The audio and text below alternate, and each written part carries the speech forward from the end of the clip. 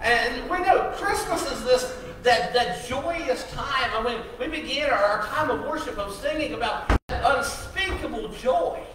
And we know that, that Christmas is supposed to be that, that, that joyful time. So here's what I thought we'd do. Let's do something a little different this morning. Is that okay? Let's have a Christmas sing-along.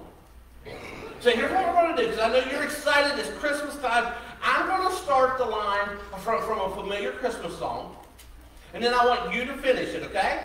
So some of them I'm only going to give you a couple words. So you got to get ready. You got to listen. But these will be songs that you know. So you're ready. It's the most wonderful. All right, good job, baby. You got. So that wasn't hard. So, so you, you got this. There. Ready? Have a holly jolly Christmas. It's the best time of the year. All right, there, there you go. You, you did. That was a little extended. You have to do a little more. So so now everybody's figured out this is not that difficult, so you can all participate. So some of you that are sitting back here with that little star, you know, you can sing too. It's a Christmas song, and I guarantee you're going to know this. Ready? Jingle bells, jingle bells, jingle all the way. Oh, what fun it is to ride one horse sleigh. Hey, there you go. There you go. Good job. Good job. Good job. Okay, now let's make it a little more difficult. Ready? I'm only going to give you just a couple words. Walking in them, I, I, can't even, you guys got this. Okay, hey, here's probably my, my favorite crazy Christmas song. Deck the halls with bells of holly. Tis the season to be jolly. Okay, now, now, wait a minute. Some of you did not have your follow along. the words are not that difficult. It's fa, la, la, la, la, la, la, la, and then you stop at the appropriate time. Okay, you got that right. Deck the halls with boughs of holly. Tis the season to be jolly. Oh, okay. Well, somebody still didn't have their follow along, but, but that was fun, wasn't it? Now I can tell even those who weren't singing were now smiling, and that's a that's a change because some of you don't smile when we sing. So so Christmas is fun, and Christmas is full of joy. And it's funny how the Christmas songs help us to, you guys will never think of those songs the same again, will you? And because they help to communicate that joy of Christmas. But let me, let's be honest for a moment. It, it's just us. Do we always feel that joy at Christmas? most days, are we feeling that, that Christmas joy uh, around this time of year? Probably not. Because honestly, there's a lot of things that could be going on in our life that's kind of dampering or hindering that joy. You know, for some of you, it may be something personal. It may just be some personal thing that, that you're experiencing that just seems to just kind of be draining the joy out of you. Or maybe this morning, eh, for you, it's just like one crisis after another after another has just continued to hit, and, and you're thinking, I'm struggling to feel the joy of Christmas. And, and with that avalanche of problems, with all those things just kind of falling down on us, it's really sometimes hard to have a holly jolly Christmas when we really don't feel like it. And then adding on all those things of life, most of us are busy, right? I mean, I don't know about you, but this time of year is extremely busy for me. There's stuff going on in the, family. There's stuff going on at church. There's stuff, I mean, there's just all kinds of stuff going on around Christmas. So we get really busy. And I want to prove to you that you're busy as well. How many of you have taken time this Christmas season to sit around the open fire roasting chestnuts? Does anybody actually do that? You know, chestnuts roasting on an open. I've never done that. You know, I, I, would have something like burnt chestnuts thrown in the fire. I mean, I don't know what it would end up with, but we're busy. We're, we're, we're overwhelmed. We got all kinds of stuff. And, and if we're going to really be honest this morning, when we think about Christmas, most of us really don't want to be walking in a winter wonderland. Oh, you know, we, we don't even want to be driving in a winter wonderland. You uh, know, so, so we're starting to think of all these things, and we're thinking, you know, Pastor Ben, you're now, we started joyful, but now you're getting depressed. Because now I'm thinking about all this stuff that's going on in my life. So I, I, I did it because I, I, want, I want to ask one important question. And that question is this. Are you truly satisfied this Christmas? Because Christmas is a joyful time. I mean, when the announcement of Jesus was made, it said, Behold, I bring you good tidings of great joy, which shall be to all people. So, so we have to ask the question, are we really satisfied this Christmas? Our teaching series throughout the month of December has been one that, that I've, I've called True Story. And my goal has been, I want to challenge you to look deeper into those familiar Christmas stories. Most of us have heard the story of the shepherds and the story of the birth of Jesus and the story of the wise men. But I, I want to challenge you to go deeper into those. And I want us to, to develop a more intimate look at Jesus Christ and his coming. And as we look at that true story, we began a couple weeks ago in John's Gospel. As we saw, John began the story of Jesus. He said, in the beginning. He said, in the beginning the Word was, which meant before creation, before time, space, and matter, Jesus already existed. And then we found that at just the right time, Jesus took on flesh and came to earth. And then last week, we looked at the birth announcement of Jesus, and we saw that like 700 years before he was born, it was announced that Jesus would come. The prophet Isaiah told it, and I love what he said. He said that his name shall be called Wonderful Counselor, Mighty God, Everlasting Father, Prince of Peace. Well, this morning, as we continue to dive deep into that true story, we're going to go to Matthew's Gospel. And Matthew gives us a story of these guys called the Magi who came to worship Jesus after his birth. And as we read their story, I want us to think of a simple question. Am I satisfied this Christmas? So let's read together. We're in Matthew chapter 2. Let's start at verse 1. Here's what it says. Jesus was born in Bethlehem in Judea when Herod was king. After Jesus' birth, wise men from the east arrived in Jerusalem. They asked, Where is the one who was born to be king of the Jews? We saw his star rising and have come to worship him. When King Herod and all Jerusalem heard about this, they became disturbed. He called together all the chief priests and the experts in the scriptures and tried to find out from them where the Messiah was supposed to be born. They told him, in Bethlehem in Judea. The prophet wrote about this. Bethlehem in the land of Judah, you are by no means least among the leaders of Judah. A leader will come from you. He will shepherd my people Israel. Then Herod secretly called the wise men and found out from them exactly when the star had appeared. As he sent them to Bethlehem, he said, Go and search carefully for the child. When you have found him, report to me so that I may go and worship him too. After they had heard, they had heard the king, they start, started out. The star they had seen rising led them until it stopped over the place where the child was. They were overwhelmed with joy to see the star. When they entered the house, they saw the child with his mother Mary, so they bowed down and worshipped him. Then they opened their treasure chest and offered him gifts of gold, frankincense, and myrrh. They, God warned them in a dream not to go back to Herod, so they left for their country by another road. We looked at Christmas and I asked you, are you satisfied with Christmas? And the thing is, sometimes Christmas gets tough. This time of year, there's just so much going on. And, and so what I want us to do is I want us to see from this story how we can improve our joy at Christmas. And, and actually, the answer is found right here. These guys were the, the Magi. They, they were the wise men. They, they came from the east, we believe probably the region of Babylon. And they came because they saw this star, and somehow they knew that that star represented the birth of a king in Jerusalem.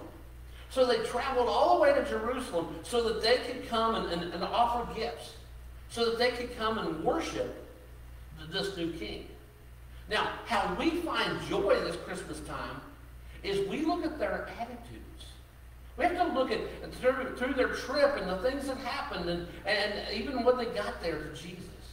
I think we have to look at their attitudes to see how we can increase our joy this time of year. And, and what I want to do is there's three lessons I want us to get from the story. And the way we're going to get them is I'm going to ask you three questions. You'll notice on your in your program and your message guide, I only gave you three lines. Because those three questions is what I need you to focus on. So here we go. Question number one. What do I seek? Very simple. What do I seek? Because I believe our level of joy at Christmas is directly related to what we seek. And we have to ask ourselves, what do I seek? What do I want? What do I want to get out of Christmas? What is that thing that would make this Christmas enjoyable? What is that thing that would make this Christmas satisfying? And when we find the right answer for that, that's when we begin to find joy. So let's look at some of our answers to, to possibly that question. What would make this Christmas satisfying? What would make it enjoyable? For some of you, you would say, I would like to have snow on Christmas. And let's face it, I don't like to drive in the snow, but Christmas Day, most folks don't have to go anywhere. So, so what if we could wake up Christmas morning with like two inches of snow, and then by 10 o'clock it warmed up to 40 degrees, so it all melted off the road, so we could go to grandma's or whatever. I mean, but that would be nice, right? You know, so we could say Christmas would be enjoyable if we just had snow. For, for some of you, maybe maybe you're thinking you're thinking of something a little a little more personal. You say Christmas would be wonderful if all the family could get together. And it would be even more wonderful if all the family could get together and be happy. and, and a lot of times we're thinking about that. And we're thinking that that's Christmas would be great. That's what I want to get out of Christmas. Or our list could go on and on. You know, we, we have something that we decided, you know, this would be that feeling of holiday spirit. And, and you know, when I feel that feeling of holiday spirit, Christmas is wonderful. For some of you, maybe Christmas would be wonderful if you were able to find that perfect gift to give to someone. Or maybe, maybe you have that special thing that you want, that present you're hoping for. And you're saying, my Christmas would be great if I just had this Christmas morning. In case anybody's wondering, my Christmas list, if you want to make Pastor Dan's Christmas list, great. It's a 30 by 50 workshop. I'm just saying, I would be tickled to death Christmas morning. You know it can't fit in a sleigh or even a four-wheel drive, so it's got to come from somewhere else. So, you know, but now, a lot of times we think of that. And we're saying, you know, Christmas would be great, but here's the problem. Did you notice that in all of those things that we named, there could be issues that we can't control? None of us can control the snow. Or maybe you say, well, you know, that gift thing, yeah, but have you ever been to the store and you went to get something and it's not there? And you're thinking, well, now I can't get the perfect gift, so they're going to settle for socks and underwear. And, and, and so, so you're, you're, you're, you're thinking, and so all of those things we can't control. So when we ask the question, what do I seek? Let's look at the wise men. The wise men show us how to increase our joy at Christmas by looking for the right thing. For look what it says again in verse 2. They came to Jerusalem and said, Where is he that is born the King of the Jews? We've seen his star in the east and we come to worship him. So what did they seek? They sought Jesus. They sought to come and worship that. They were looking for him. So when we have that right attitude, that right perspective for Christmas, and we ask, what do we seek? If our answer is Jesus, the Bible says, if you seek me, you will find me if you look for me with all your heart. So, so we know we will find Jesus. So the, when we ask, what do we seek? I've been challenging you to, to look deeper into even those familiar Christmas stories. Because what I want you to do is get a glimpse of the one that was born. Just to get a picture of, of the, the King of the Jews. If our goals for Christmas is anything on that list I gave you earlier, there might be times we're disappointed. But I can promise you this. If your goal this Christmas is to worship Jesus, it is to find him, you will not be disappointed. And you will have joy this Christmas. So question number one, what do I see? Let's look at question number two. It's almost the same thing. Question number two is where do I look? And the reason I gave you that, the where do I look, is because uh, when you look at the story of the wise men, they didn't always look in the right place.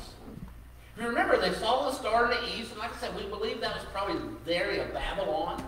And they, they came, they traveled, and, and they get there. So as we read the story, the first place they showed, they showed up was where, in human logic, would have been the right place. If you're, we know there's a new king born in, in, in Israel, in Jerusalem. So where do you go to find a king? The palace.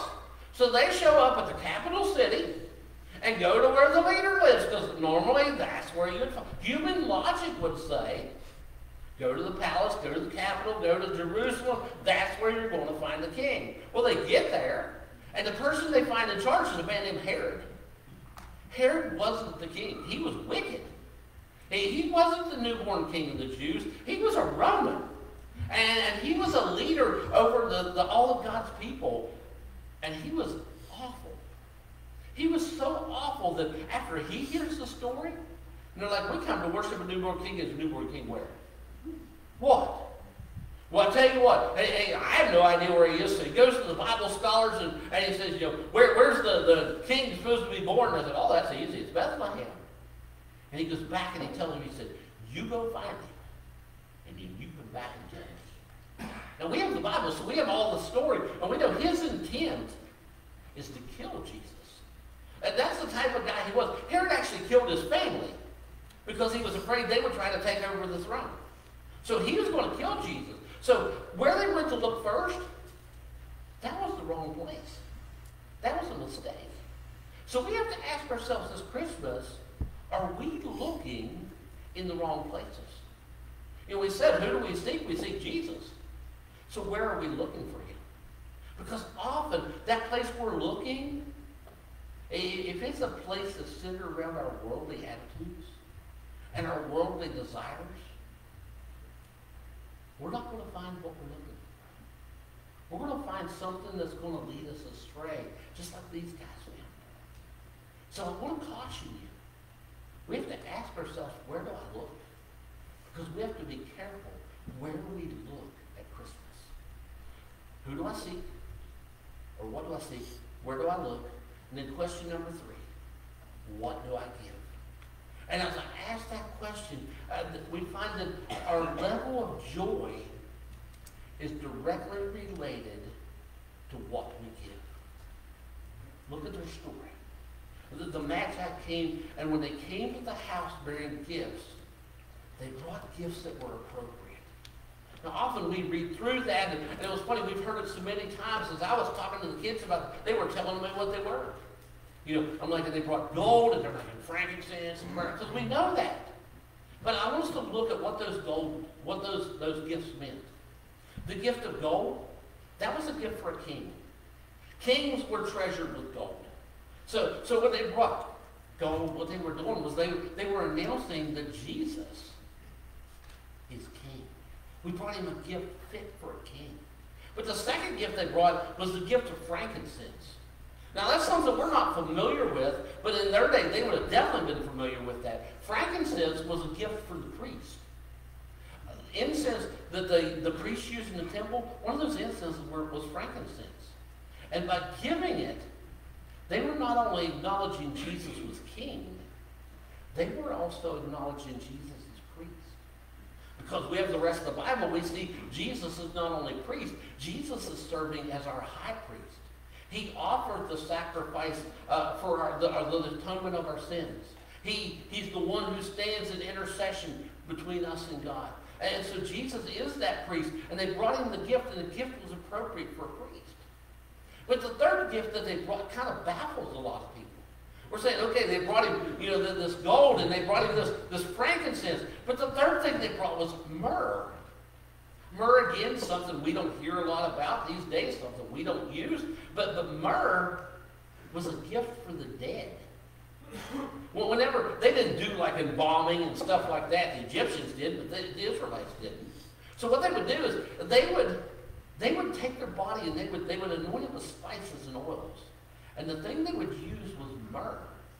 And myrrh was, was that awesome thing that, that would kind of keep the body from stinking because they didn't embalm. It was a gift for the dead. So we say, well, why did they bring that to Jesus? I think the answer is simple. It was a gift appropriate for someone who came to die for the sins of the world. You know, that's why Jesus came.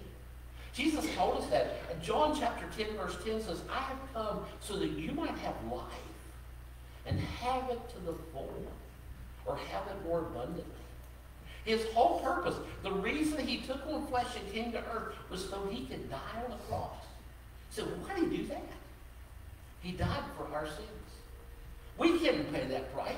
If we were to die for our sins, we'd be dead. But because he was the Son of God, took on everything that we might endure, he died for our sins and came back to life. Showing us that he has power over our sin, power over death, power over hell, power over the grave. When Jesus came, they brought him a gift for those who are dead. So we have to ask ourselves this question, what do I give? Now, I'll be honest with you. If you want to bring your gold to the church, I'll be okay with it. But that's not, that's not what the Bible's telling us. And that's not what the wise men's telling us. I'm not really even talking about material gifts. I really don't care what you got for grandma. You're going to put in a, a package and give to your best friend. But what we're talking about here is something more important. What do we give? Let me give you some suggestions. How about, how about if at Christmas we give the gift of love? How, how about if we give the gift of kindness? Anybody been to Walmart lately? You know, you know what's needed at Walmart? Kindness. It really is. You've been there. And I'm not talking about that. So if you're a Walmart employee, don't start throwing hymnals at me. I'm not talking about you. But, but, but here's the thing.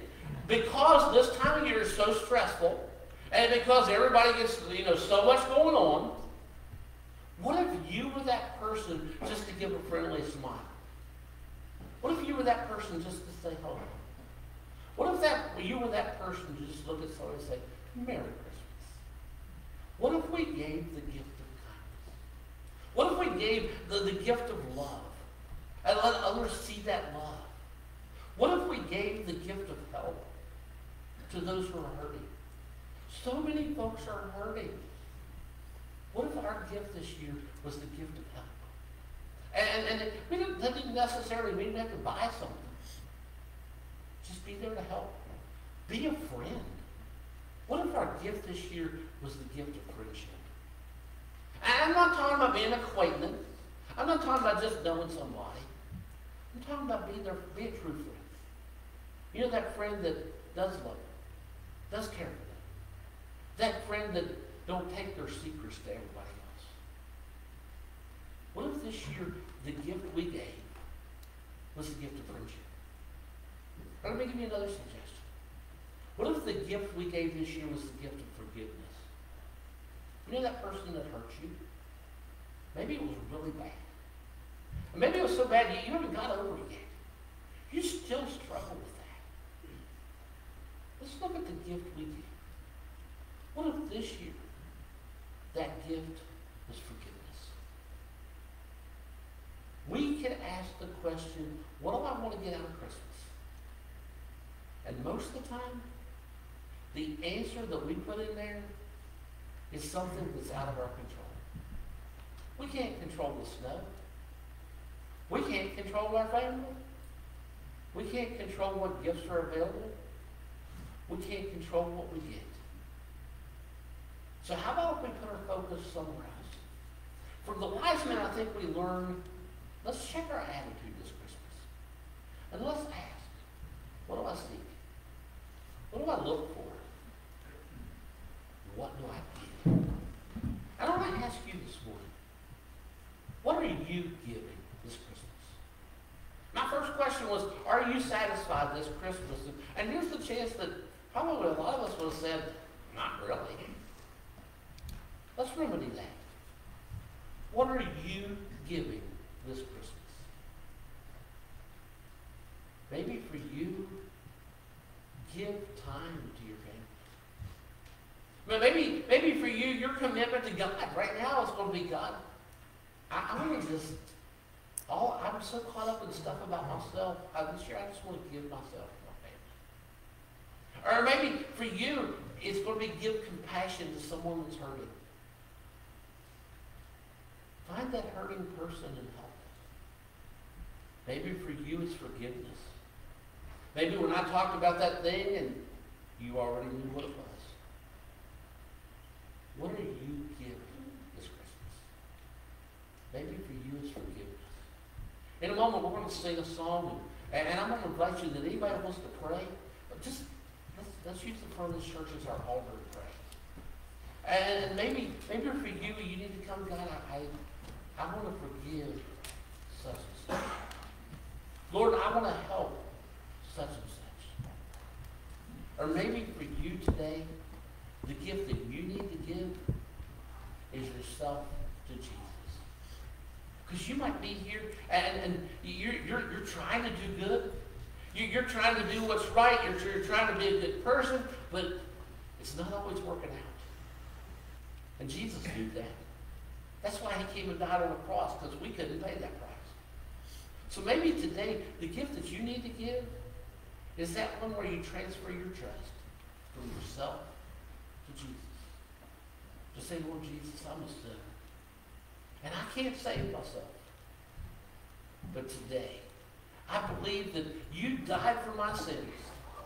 That you were buried and you rose again having victory over that. So today I transfer my trust from me to you. And I just give it all to you, Jesus. I want to give you. Today, what do you give? How do you have joy this Christmas?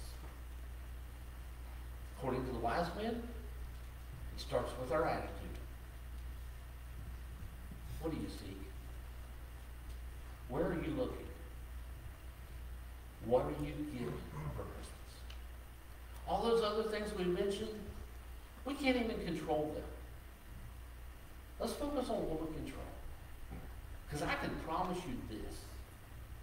If you're seeking Jesus and you're looking in his direction and you're giving as he has taught us to give, you'll find your joy this Christmas. Father, thank you for your word. And Lord, as we think about our joy and are we satisfied with Christmas, Lord, we, we find maybe there's things that should be in our life. So right now, God, we're going to surrender those to you. We're just going to give them to you and leave them with you.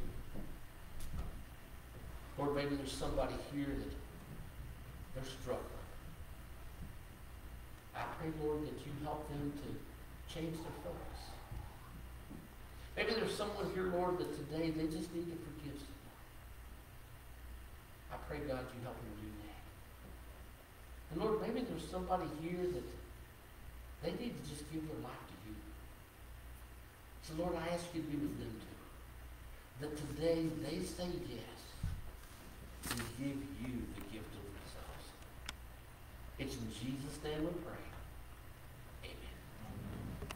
Would you stand with us, please?